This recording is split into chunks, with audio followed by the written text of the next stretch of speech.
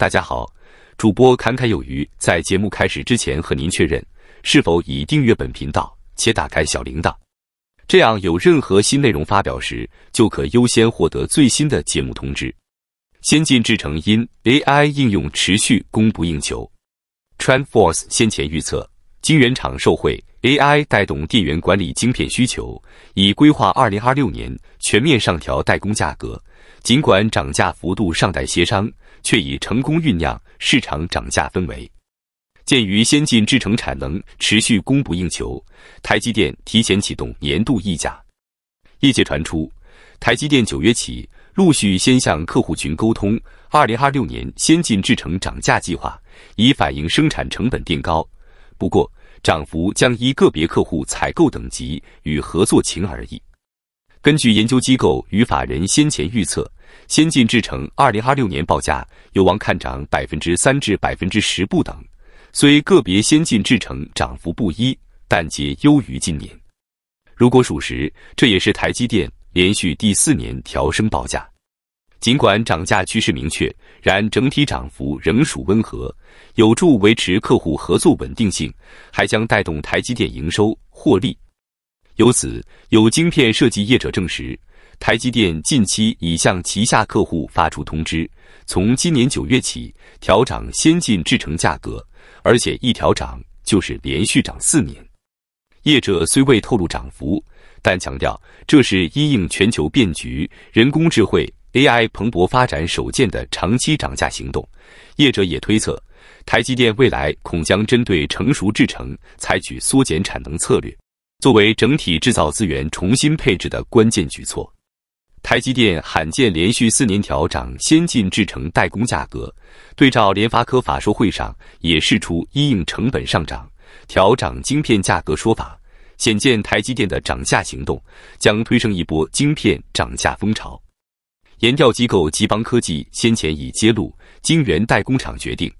二零二六年起，五纳米以下先进制程价格上涨百分之五至百分之十，并暗示台积电因海外厂如美国、亚利桑那州等地建厂与营运成本高昂，为维持既有毛利率，公司只能透过价格转嫁成本。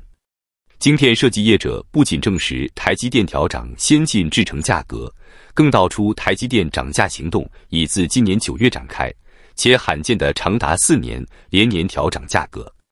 毕竟，在 AI 晶片和高效能运算 HPC 需求的推动下，晶圆代工龙头台积电也正在进行重大策略调整。根据市场供应链的说法，台积电已罕见地告知所有客户，针对五纳米、四纳米、三纳米、二纳米这四种先进技术，将连续调涨价格四年。为此，台积电一贯不评论价格问题。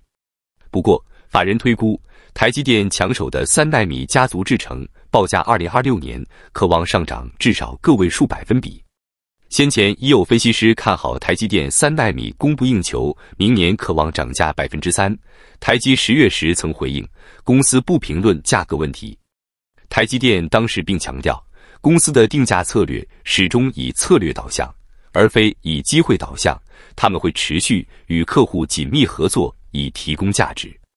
有消息指出，这次涨价是在九月所宣布的，预计从二零二六年开始生效，并且连涨四年，涨幅是采用复利方式计算，即在原有价格基础上持续累加。虽然具体涨幅属于商业机密，但传出可能将有双位数的幅度。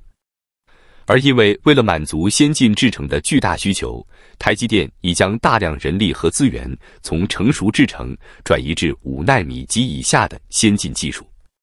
这种资源转移的后果是，六纳米和七纳米等成熟制程面临事实上的减产。尽管辉达等大客户的订单转向五纳米和四纳米，使台积电一度试出六纳米、七纳米的产能。但由于台积电将这些设备和人力转移，导致成熟制程的客户若过往与台积电关系不够深厚，二零二六年起恐将面临缺货压力。另外，消息也指出，台积电这次的涨价动作对客户是全面性的涨价，没有个别的差异。这情况也显示，市场对相关先进制程的需求比预期中的强烈。事实上，根据二零二五年第三季先前公布的财报显示，其先进制程比重高达百分之七十四，其中五纳米占达百分之三十七，三纳米占达百分之二十三。相较于二零二四年，先进制程约占百分之六十九，进一步成长。在二零二五年，二纳米将开始量产，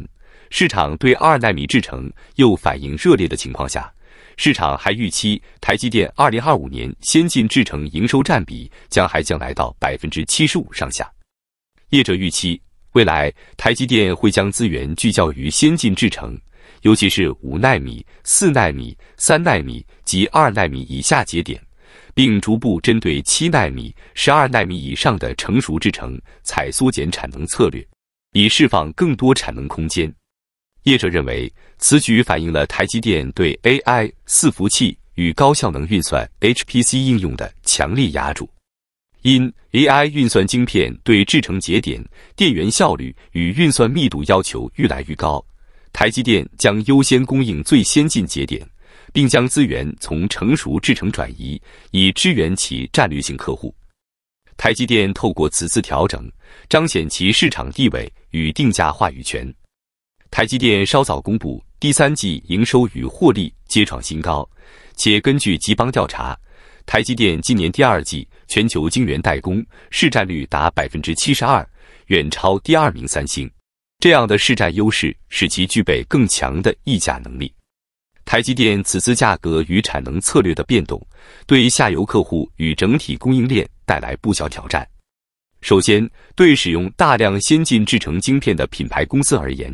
成本上升将迫使其调整供应链策略，提高售价或缩减其他成本。其次，依赖成熟节点的代工或系统封装厂，因产能缩减，可能面临转单抢袭压力。此外，台积电的涨价策略也对消费电子市场竞争与技术更新节奏产生长远影响。不过，若台积电缩减成熟制程产能，也意味着成熟制程也将获得喘息及涨价空间，但晶片设计业者恐将承受更高的成本压力。不过，也有业内人士说，尽管在大流行期间，台积电也未任意涨价，多考量和客户群的长期合作关系。台积电曾在二零二零年、二零二一年两度取消年初的销货折让。二零二三年起恢复例行作业基金。以台积电二零二三年报价涨幅来看，相较同业公司自身涨幅亦属温和。当时主要是综合考量产能供不应求、通膨与生产成本提升，与客户沟通调高报价，但也仅个位数百分比。预期二零二六年先进制程仍将持续反映生产成本。总体来看。台积电现在主要成长驱动力是先进制程，五纳米与三纳米家族占今年第二季营收达六成，第三季续占六成。台积电先前曾多次强调，与客户密切合作规划产能，并投资先进和特殊制程技术以支持客户需求，同时在客户信任之下获取适当的报酬。台积电在先进制程领域持续享有领先者红利。且无替代方案。方案，法人看好，随着相关需求成长，有望带动台积电营收获利成长。外资先前已上修台积电 AI 应用营收的中长期预测，原先二零二八年 AI 应用甚至将达到台积电总收入的百分之三十五，目前渴望提早在今年或明年达到。那么本期内容到这里就结束了，感谢你的观看，期盼能与你产生共鸣。侃侃而谈，阔论有余。最后，请你点赞、订阅，这对侃侃有余是极大的鼓励。谢谢。